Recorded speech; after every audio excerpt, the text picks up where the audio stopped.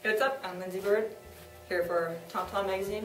I'm just going to show you a few quick, simple stick tricks that you can use and apply to your playing, just to spice things up. So basically, a really easy one that is super easy to apply to uh, when you're actually playing beats is I like to call the over the pointer finger flip. Because that's all you're doing, you're flipping the stick over your pointer finger. So just a little close up for you.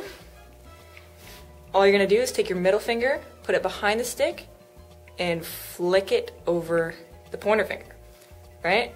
A bit quicker. So, super easy. And it's really good to, I like to apply it before I hit, like, I'm really far away, hit maybe the snare drum, like on an up, right? It's just, just dramatic and cool looking. So that's one for you. Um, another one I like to use mainly when there's like a bigger break because this one tends to be a little bit more tricky and you have a better chance of actually like losing the stick. So I do it when there's like maybe a bigger break when I'm just stomping on the kick or something like a break. Just it's less risky. So it's called the around the thumb spin. And basically, again, the names are very self-explanatory. It's around the thumb. So, looks like this. I'll give you a closer view.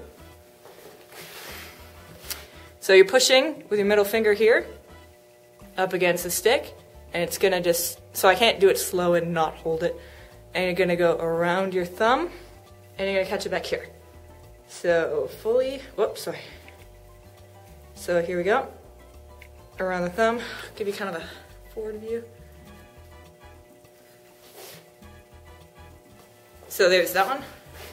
Like I said, if you can nail this trick and you're really comfortable with it, feel free to throw it in like whatever you want. But um, until you can get it, it's quite, because when I first was doing it, it slides, just kind of slides off your hand. So sort of more risky.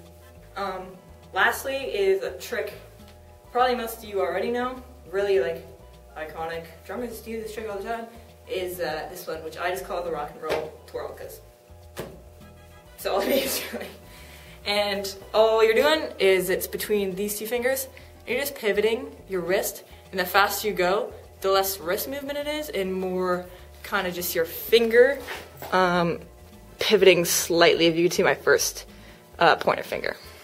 So that one's really easy. And if you're not doing like a really long one, you can just give it one flick of the wrist and you can throw it in anywhere and it looks really cool. And you're not doing that much work. So hopefully these help out and uh, can make your drumming a little bit flashy. And uh, Hopefully you don't drop them. Good luck.